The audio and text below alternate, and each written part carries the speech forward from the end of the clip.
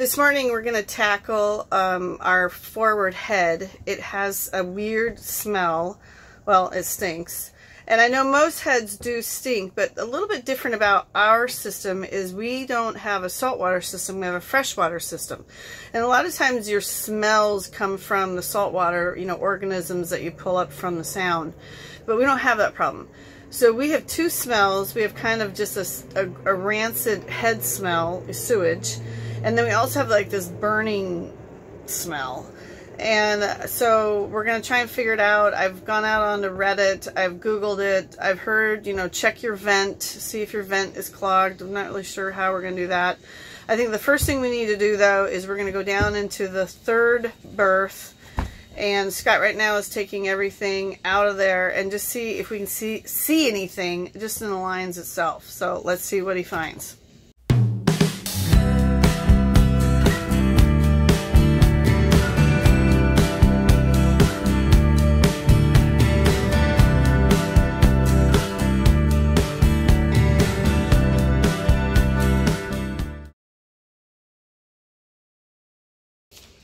So what do you have to do? I gotta pull the mattress out here. Oh. Okay. In order to get to all the storage. Oh, that oh. wasn't Oh. too bad. Okay. Goodness.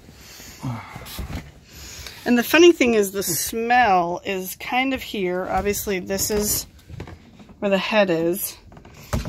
But it's not in this room.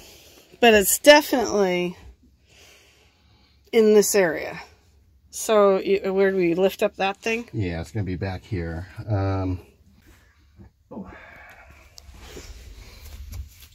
Does it stink? oh yeah. But I mean, I don't see. Oh, um, no pun intended. Can you go get the uh, flashlight? There's a flashlight. Okay. Okay, so that's oh that's where the holding tank is. Uh, well, there's definitely a little bit of stuff on the bottom here. So- Let me see. Bottom of what? Oh, Right, right here. oh God. So we have a little bit of a leak. We don't. Yeah, I don't know where it may be coming from. Could be the holding tank. Could it be the holding tank itself? Oh, great. Oh, that is Well, I don't want to go any further without putting gloves on. No. Okay, so we had to switch gears here. Ally's got the smaller hands, so she's gonna reach down there and just Underneath this pipe? yeah, just e either pipe and see if it's leaking. Just under there, wipe it. Yeah. Okay. What's it look like? Dry. Okay. Try the other one. It does have a crack right there. Well, okay, but let's see. Okay. It's dry. Let's try. Okay, so it's probably not coming out of there. So who knows? It could be residual. There's also a little hole right, or a dent there. So it could be that it splashes off the. Oh wait, uh, no, hold on. Don't see where it might be coming from unless it's coming from below.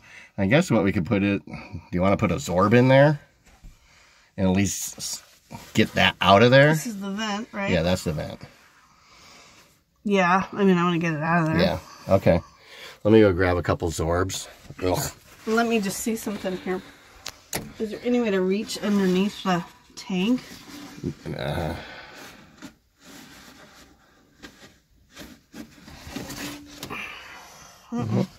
it's not there, and on that side it looked good. And the thing is, is if it's leaking badly, but where did it come from?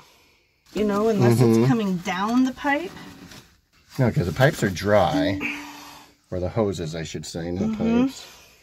So it doesn't seem to be leaking from the head itself, at least not down the pipes or the hoses. It could be the holding tank has a small leak. It could be. I wish we knew what was, I mean, because you do have this dent, so it looks like somebody stepped. Unless we, um, I'm not going to touch it until it's emptied. so. No. The only other thing is that we could, um, we could I mean, replace it. The holding tank. Yeah. I mean, it doesn't look that difficult to replace in this No, case no, compared to some it's just sitting in there. We just have to take the fittings off, screw them back on. Wouldn't it be a big deal? Well, let's get some plastic and some Zorbs and Yep. at least clean that up. Yep, yep. And bring me the other glove. Okay, so this is the benefit for me. I'm too big to get in there, so Ally gets the fun job of trying to I might need my nose plugs though. the Zorbs into the holding tank area to see if we can pull out that. Do we need the light again, or you think you're good? I might need the light. You want to hold it for me? Great. Yeah, can you just lay it down? Because I think the thinner it is, the better it will absorb. How long does it take to absorb? I don't know. This is disgusting. You want me to get a paper towel instead? Might be faster. I'm just trying to see how much liquid is back here. And then I think I'm going to clean it with vinegar. Yeah. Let's spray that non-scent in here, or no scent. How's it going? Does it look like it's soaking it up? It's hard to say. It might be better with. Let me try with this paper towel. Yeah. It's not a lot though. It might need more. Right, paper towel is definitely faster. Yeah. So, ugh, it's still leaking. Can you get me more? Okay, so now we're switching gears, going to the shop. Shop rags, paper towels. Okay, what's crazy is it's like it's continually leaking. Well, that was fun. The joys of being a boat owner. So first of all, if you know one thing about me, I have the worst gag. I'm amazed that I was able to clean out. uh, Like, who knows how old that Thank you, urine is? It's disgusting. So what we're gonna do now is we've left it completely open, Mhm. and we'll see if it leaks. Yeah. Um, we do have actually a pump out scheduled for Tuesday. Today's Sunday. Mhm. So if it is leaking, um, we will not use it. And uh, we're Yeah, hauling out on the 20th and we'll have to replace the tank. Right.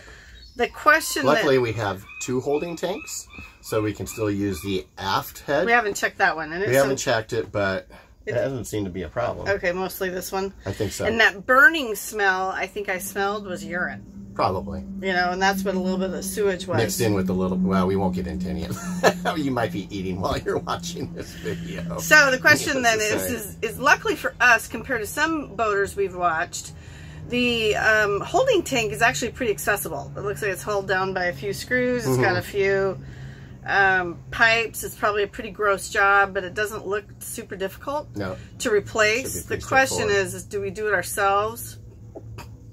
Or do we just have someone like Emerald Harbor do it for us? So, um, At least if they make a mess, they're responsible for it. So, you know, we might have a chance for them to. I just uh, don't think. I, and then you got to figure out where to do with it. It's a hazardous material. That's true too.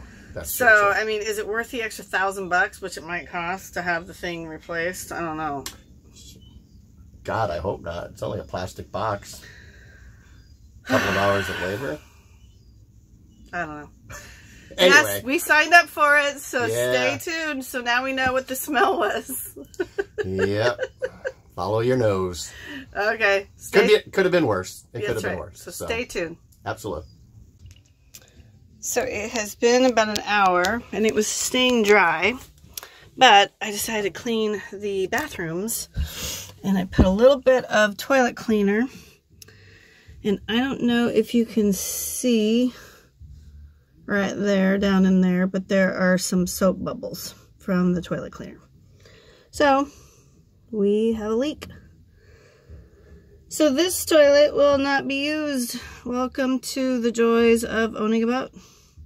Gonna have to replace it.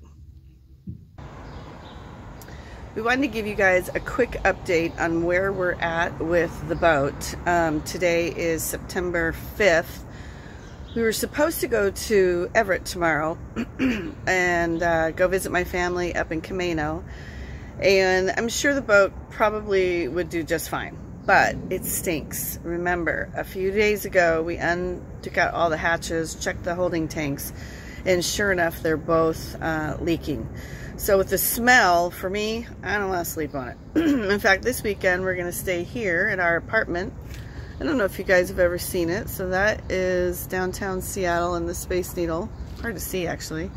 And of course we have Elliott Bay behind us. So we'll end up just staying here this weekend, maybe do a few odd projects. We are going to still go up to Everett and check out the marina and have breakfast, breakfast with some friends, Ben and Maria, who you know well. And we're waiting for Emerald Harbor to go check out the holding tanks hopefully this week. So we'll give you an update and we'll see how it goes. But it looks like we may be getting dirty soon. So as part of checking the forward holding tank, we know that one is leaking. We decided to check the aft holding tank as well. And the first step is when we went to access it, we noticed that there was water still in the bilge. So um, in order to see if that one happens to be leaky, leaking, we're still gonna, we're just gonna sop up all the water that's in the bilge that the pump can't take out. And uh, we'll see where we go from there. So it's not gonna be a fun job, but hey, somebody's got to do it. I wish it were Ally, but she did the forward tank, so I'll do this one. So in order to access our aft holding tank, and God forbid it is broken because we'll have to undo the entire floor because they encased it within the, the floor structure, um, is to just go through this access panel here. Get that out of the way. And we're just gonna sop up a bunch of the liquid that's still in the bilge here. Trying to put on the gloves. I'm just going to use some paper towel. Ugh. And just start soaking it up. Let's see what happens. Not a fun job.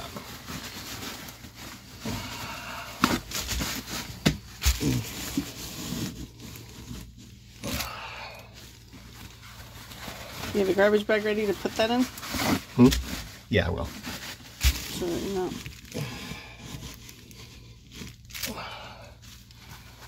I'm going to go through a lot of paper towel here. We want to just get it all in there, get as much as we can to get that stuff absorbing it. And then I'll start pulling it out and hopefully it's all soaked up to that. So, we have our first garbage bag here, getting ready to go.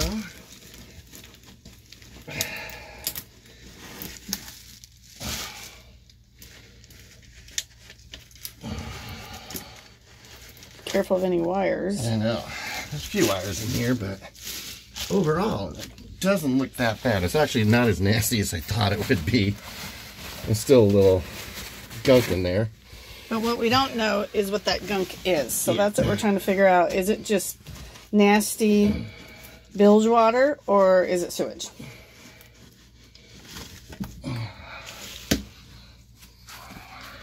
Okay, so you've sopped up some of the liquid. We still mm-hmm. need to do a few more. A little bit more, And then we're going to run the toilet and see what happens. Yeah, let's run the toilet and see. You want to if- clean up that little extra Yep, there? I'm going to. Yep. Okay. Okay, what did you just pull out from under mm. there? An old Zorb. What does it look like? It looks disgusting. Gross! And it was was- under the holding tank? Under the holding tank, yeah. Okay, that's not good. And why? I don't know. Okay, so now that it's pretty dry in there, Yep. what we're going to do is we're going to flush the toilet a few times And see what happens. and see what happens.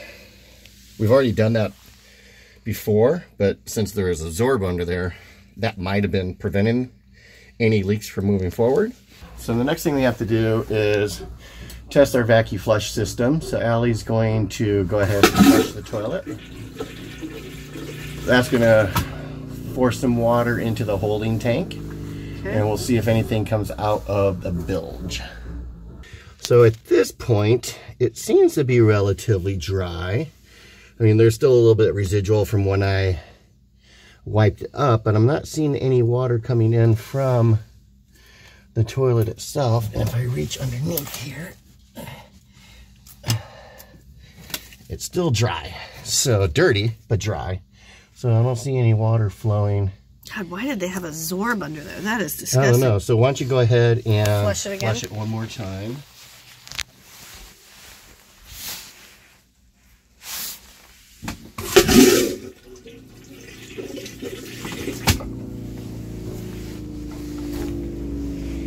So there's two noises that you hear when we do that. That's the water pressure pump and then the vacuum flush uh, pump as well.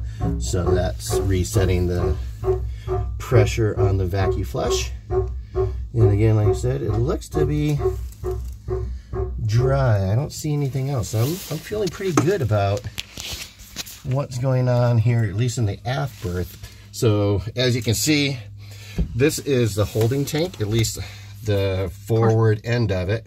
It's about six inches tall and about four feet long.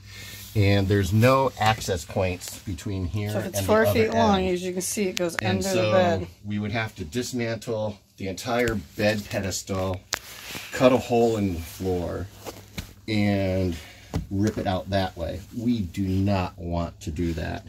So the water, the water tank is actually underneath the bed pedestal, as is the water pressure pump. So um, we have a big um, aluminum tank for those, um, but there's no access point. So whoever architected this boat was feeling pretty confident that you'd never have to replace this tank. And um, the tank itself is what 17 years old now, and so um, maybe maybe we're lucky on this back one. But um, as you're going to see, the forward one, uh, not so much. So uh, I think we're done back here. Okay. Yay. Okay, so now you have what, a special camera that you're going to use for the other tank. Um, yeah. This is the one that's leaking. So we have this special pipe camera that we can use. And we're going to see if it looks wet underneath. Okay, so that's you filming, right? Mm-hmm. Okay. So Scott is now using a special camera to look underneath the tank to see if it's dry or wet. But it's going to be really hard to tell. Mm -hmm. That should be, It it looks dry though. Looks dry there. Yeah. So with the aft head, what we've done is we've flushed it a few times. We use this special camera to look underneath, and Scott says that it's dry. But there was definitely liquid under there when I sopped it up, and it does have a smell, Well, it But is which- a holding tank. and it It's a holding gonna- tank, and it could be the gonna have a lines. smell. Always gonna have a smell. But the question now is, is maybe it's leaking after it gets too full. Oh, cut myself again. That's what we don't know. And that might be it because we had it pumped out, so it's empty now. Right. So the only suggestion that I would have right now is we flush it until it fills up. And see at what point does it leak. Right, and then we can always have it pumped out again. We're going to have to, anyways, to replace it. Yeah. So okay, so why don't you just go ahead and Flush it. flush it, and we'll just keep an eye on it here. Okay. And we'll eventually have to flush it all the way to the point that it the sensor comes on. We're trying to fill up the tank slightly. Oh, the smell though. See, that's what's killing me. Anything? No, Still dry? How full is the tank? I can't quite tell. Okay, so we're what three quarters of of a full tank. Yeah, about that far from the top of the tank, and it's still So we're not leaking. So it's still not leaking. We're waiting for the sensor here to go off as up. well. And we're gonna fill it up. We've just been filling it up with plain water. And what we're wondering is if it just gets so full, it's got a hairline crack at the top, that maybe that's what it's why. It, or we don't know what that was. It was definitely urine I sopped up. Yeah, I mean it was Something. it was something nasty, but it kind of like in the last in the aft bilge, it might have just been Is there a bilge in this one? well, it- yeah, the same bilge. It's the same type of bilge. Oh. Yeah. But it, but that was underneath the holding tank that I sopped up. Right. and it was yellow. But, but it connects to under here. Oh. So it just kind of probably was sloshing back and forth Okay. with, with the boat being underway.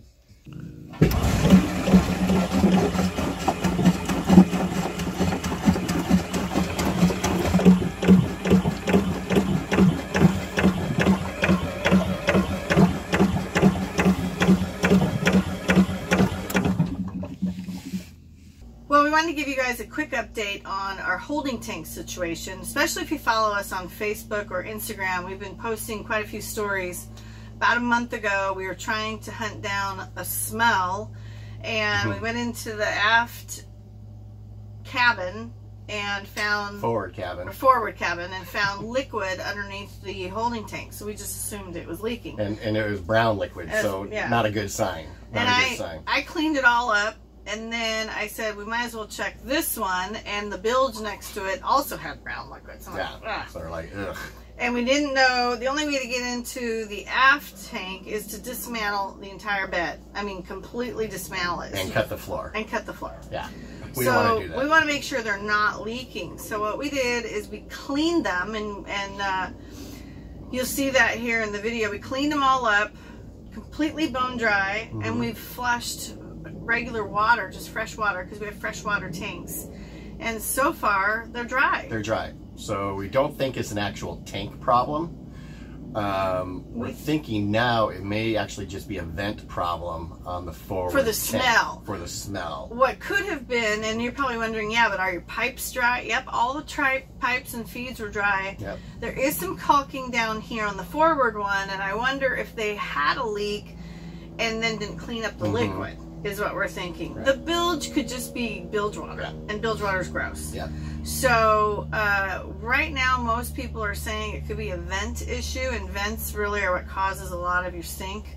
Mhm. Um, we've got some super duper air fresheners. The other thing everyone recommended is now that it's kind of going into winter, is don't really use your tanks that much. Actually, flush them more with fr- fresh water.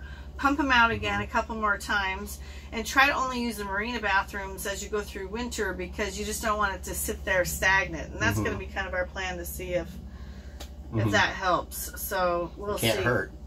Well, we, put it that way we can't really. I know a lot of people say to uh, do your hoses, and they're not really accessible either. So it would be a nightmare Yeah, job. It'd be a nightmare. so, So fingers crossed. That's we will it. check out the vent though. It does. It, there is a little bit of corrosion on the outside of the boat, so we're going to see if we can't maybe pop the vent cover there and just double check, make sure that the vent line is clean.